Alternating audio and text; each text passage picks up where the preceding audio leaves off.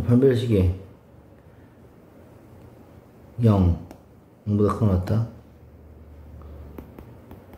0보다 작거다 작다를 풀면 되겠지. B제곱 빼기 ac 짝수 정식 쓸수 있어 없어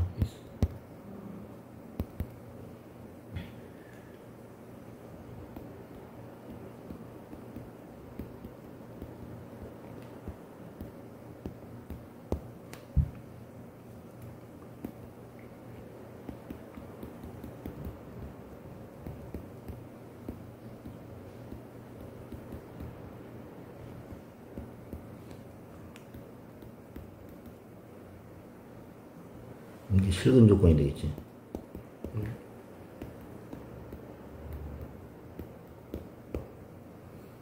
중근.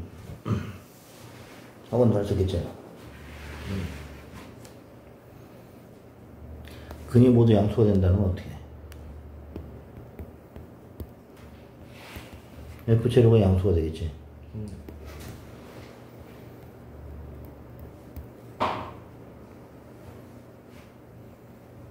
그 다음에 실근 조건을 가지면 되겠지.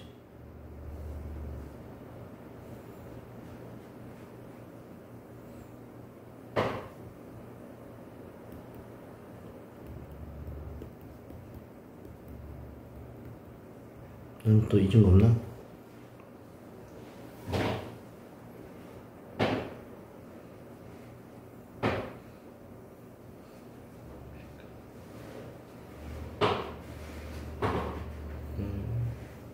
누구 있죠? 되면 실근이니까. 그 다음 합도양수, 곱도양수. 응? 그 다음 이건 어떻게 돼? 허건은 가지면 되겠지? 음.